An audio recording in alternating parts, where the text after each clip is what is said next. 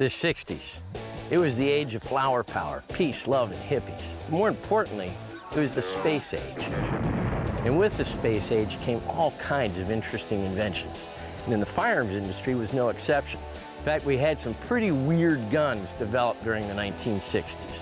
One of them, the Dardick. What you actually have on the internal mechanism of this gun is kind of a rotary magazine that takes the Tround. It's a triangular shaped, self-contained cartridge. The Dardick isn't interesting enough for you. This one's even weirder. This is the Gyrojet. It's a smoothbore that fires a self-contained rocket-propelled projectile.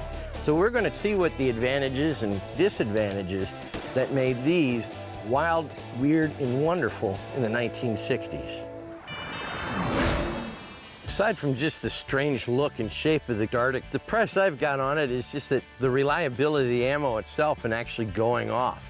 Now what we're using is original Dardick Trounds that are now almost 50 years old. So we're gonna aim for that blue paint can right in the center and see if it goes bang.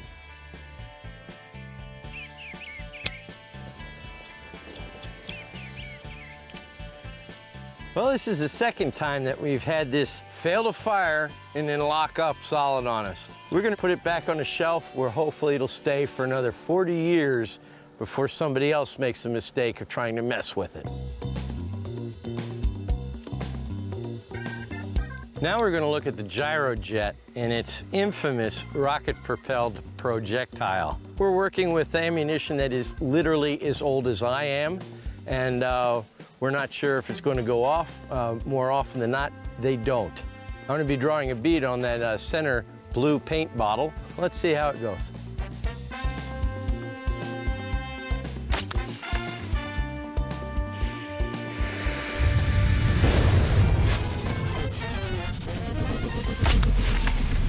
That was pretty damn cool.